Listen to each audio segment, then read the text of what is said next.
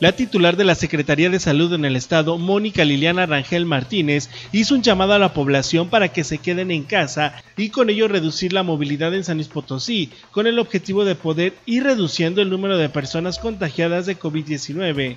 De no hacerlo, podría incrementarse los casos, sobre todo cuando las personas no han acatado de manera responsable las medidas de seguridad sanitaria. Mientras no detengamos la movilidad, mientras dejemos de hacer aquello que está prohibido. Es decir, si ya sabemos que hay acciones que, son, que están suspendidas y las sigamos haciendo, sigamos haciendo actividades que en este momento no son factibles, los contagios se van a seguir dando.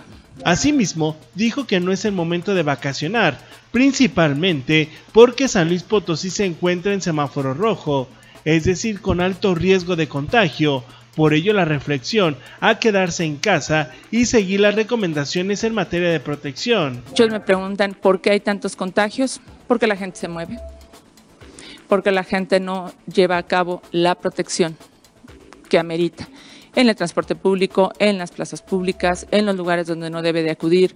Y esto nos va a llevar, y lo estamos viendo alrededor del mundo, nos va a llevar a una pandemia muy prolongada. Finalmente solicitó el apoyo de toda la población para que, desde casa, sigan las medidas de protección a fin de evitar una saturación en los hospitales y de los servicios de salud.